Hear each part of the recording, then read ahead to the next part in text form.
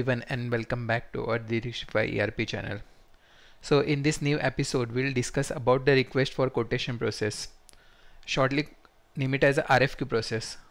So in this episode first we'll discuss about what is the request for quotation process and then next we will discuss how we can create an RFQ in D365 FNO and we'll also discuss about how vendor can participate in the vendor bidding process. So let's get started. So first, what is an RFQ process or request for quotation process?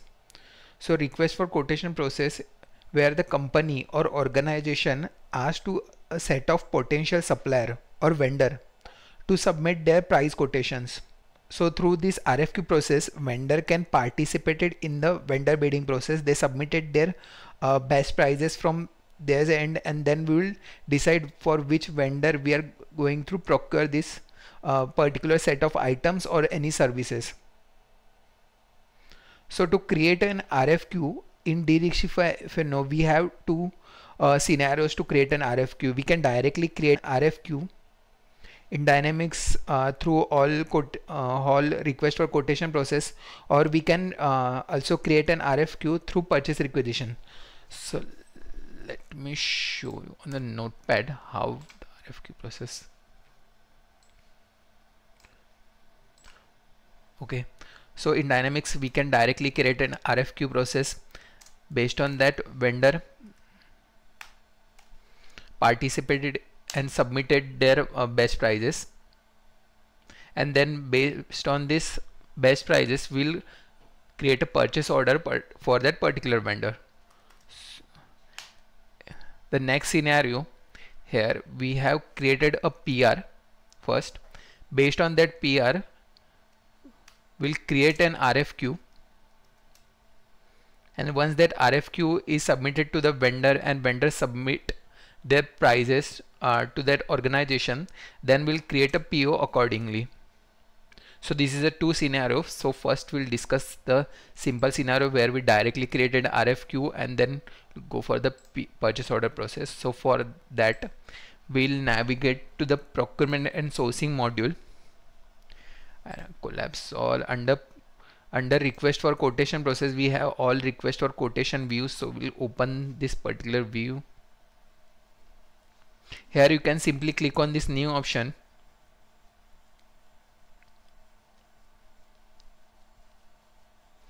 Here the purchase type will set to the purchase order because here we are directly creating a purchase order through that uh, through this RFQ so let's skip this part directly. We move to the second process where we include the where we cover the RFQ to PO process as well.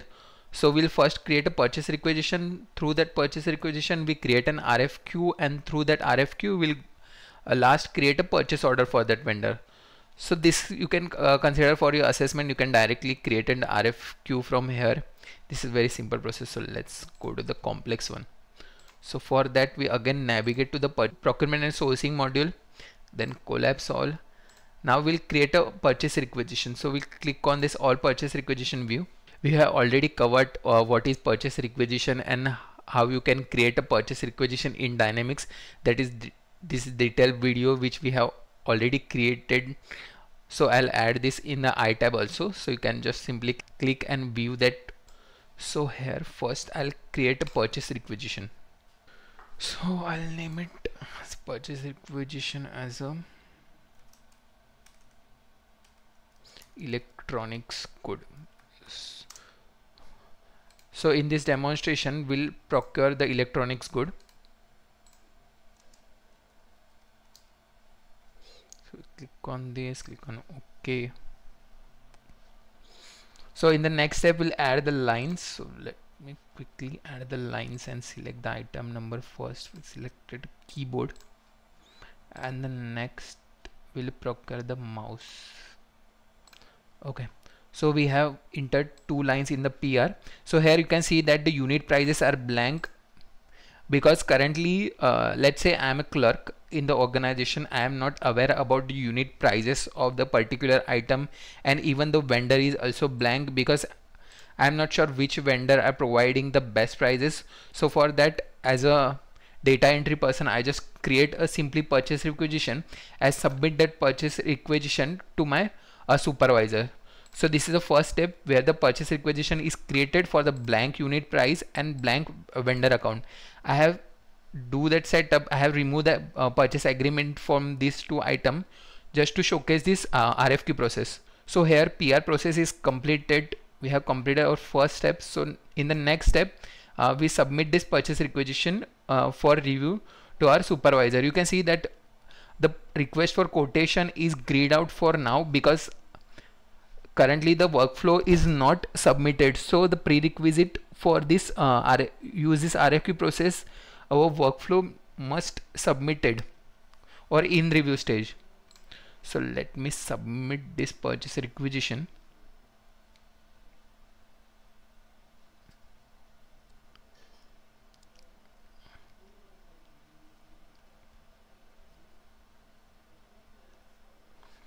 okay next submit this workflow. So here you can see that our status is changed to draft to in review and the request for quotation button is also enabled now because we have submitted the uh, workflow. So in the next step we'll create an RFQ from this purchase requisition. So now my job is changed from clerk to the supervisor. So now as a supervisor I'll create a request for quotation to my set of vendors so here I'm select the legal entity currently I'm working in the USMF legal entity and select both two items for which I'm going to request for quotation to my uh, specific vendors. So I just click on OK.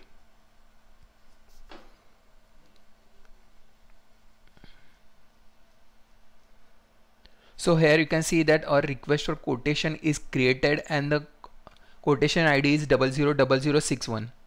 So just copy this ID so now our request purchase requisition step is completed. Now again go back to the procurement and sourcing tab.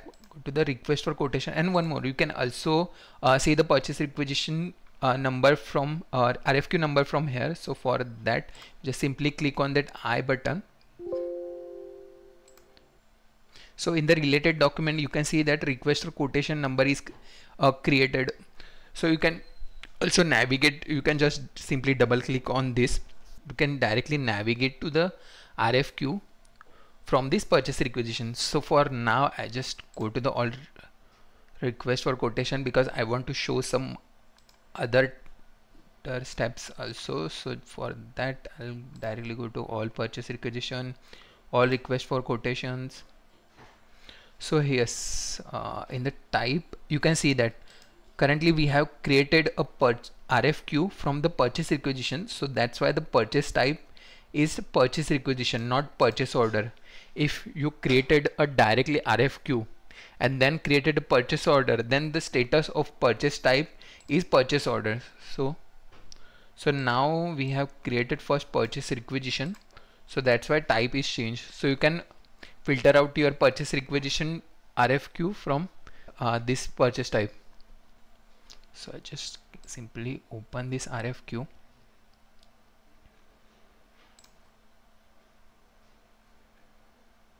so both two items are created under this RFQ and here you can also see that unit prices are blank. And in the header section you can check the vendor. So yeah so vendor is also blank so first we add the vendor and then we send this request for quotation to those vendor to submit their prices. So let me add one vendor. So first I'll select this vendor. You can also uh, use the vendor search option. This vendor search option as also we have discussed in our previous episode when we discuss about the vendor evaluation criteria. So you can also check out that video for this vendor search option. So for this video I just simply add the first two vendors. Okay I'm here I'm adding two vendors because we need to also uh, see the vendor bidding process. So for that we need at least two vendors. So we just save this one. And in the next step once the vendor is added we send this RFQ to these two vendors to submit their prices so for that we click on the send option and click on ok.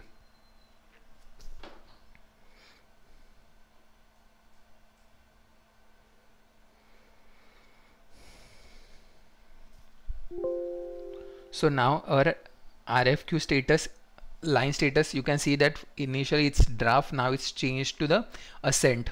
So next step is vendor receive that email in their email box about sending this uh, prices for these two items. So for if you are using the vendor collaboration portal the all setup is properly done and you have provided the access to your vendor about the vendor uh, portal then vendor can directly get the notification on that vendor portal that the RFQ is created for you and you just need to submit your uh, prices so now I'm assuming that all the process are manually no vendor collaboration portal is set up. So now vendor reply on our email with their prices. So once we receive the prices for both two vendors or any single vendor we can just simply add that prices on the RFQ level. So if you want to if you want to know more about the uh, how to set up a vendor collaboration portal and how this bidding process will work on the vendor portal level you can just simply comment in this video about this and I'll create a detailed separate video for the vendor collaboration module and include all the functionality of that.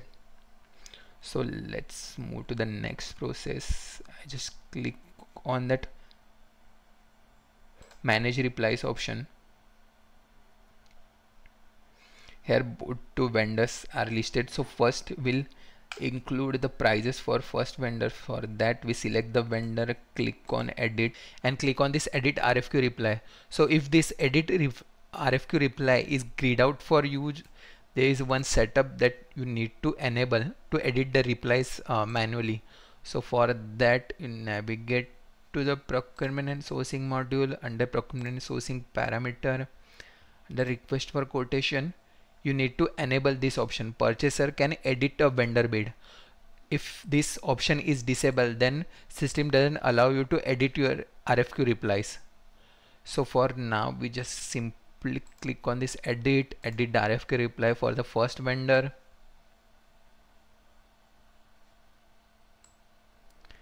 Here we did the unit price. So I set the keyboard price as a hundred USD the mouse price is the 50 USD for this vendor.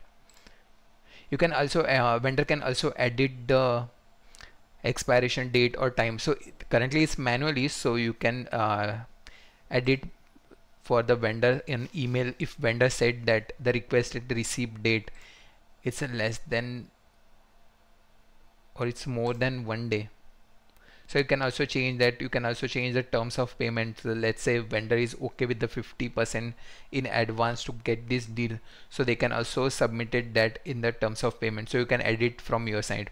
So once this step is completed make sure you submit the RFQ process. If you forgot to submit RFQ you again need to open that particular RFQ again need to submit it that prices. So this is very tedious then this is the very tedious process. So make sure you submit this RFQ so for now we all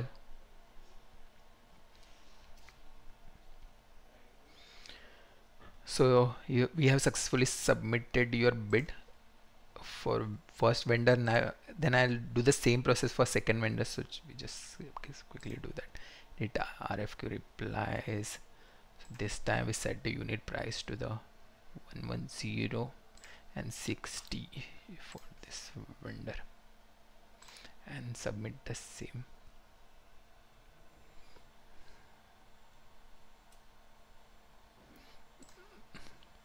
Okay so we have completed the step. We have sub vendors send or uh, send their prices through email and as a data entry person I have entered the prices manually in the system.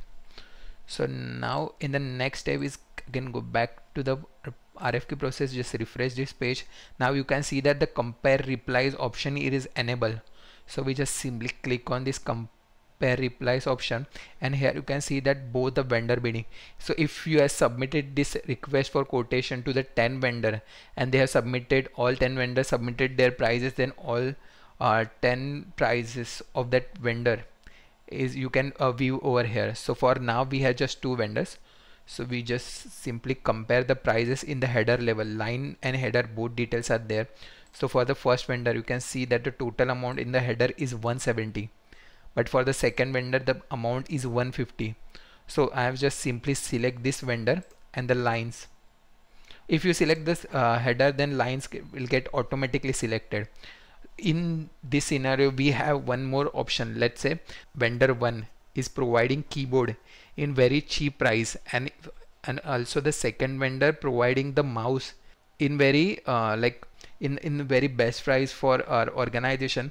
Then you can simply instead of header you can simply remove the header and select the second line of the first vendor and the first line of the second vendor. This option is also available but in the purchase order level two purchase order is created for two different vendor because in the purchase order level they can only handle one vendor.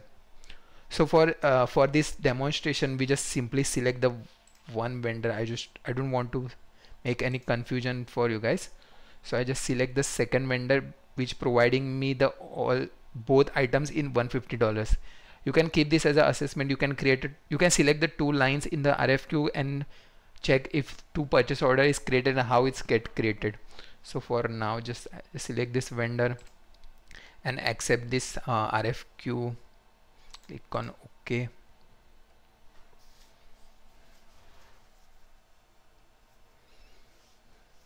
And so once we approve the uh, lines or header for one vendor then system automatically pop up the second window of rejecting the request for quotation uh, for the first vendor. So we simply click on ok so now our rejection process is also complete. So once rejection process is completed system automatically remove the lines which we have rejected from the RFQ so we again go back to the uh, request for quotation simply refresh this page. Now you can see that unit prices are still blank because we have created this request for quotation through purchase requisition. So we again go back to our requisition for that we navigate to the procurement sourcing requisition all purchase requisition. So this is electronics good which we have created. Initially when we created this uh, purchase requisition the prices are blank and the vendor is also blank. So we just refresh this one. And you can see that the the prices which we have accepted uh, for the vendor account 1002 both 100 and 50 uh, which is 150 total is now automatically get updated on the purchase requisition level. So that's it for this video. In this video let's let's summarize this video. So for that I'll open one notepad. So in the first step we create purchase requisition. Then through purchase requisition uh, we have created RFQ in the purchase requisition both prices and vendors both are blank and in the RFQ level we have attached the vendors uh, in the RFQ and once the RFQ is created we send this RFQ to the vendor. Then vendors sub replies reply on our RFQ on email and send their prices. So we update the replies in the system. Once the prices are updated for all the vendors in the next step we compare the replies and the next step is we accept we accept the lines and then we reject the remaining ones. Once this rejection is done our price is updated in the purchase requisition level. And now you can uh, simply create a purchase order from that purchase requisition or you simply created a purchase order from the RFQ so that's it for this video. Hope you like this video if you have any still have any doubts in the RFQ or facing any issue in the RFQ process you just simply comment in this videos I'll reply on your comments and make sure you subscribe to our channel for future episodes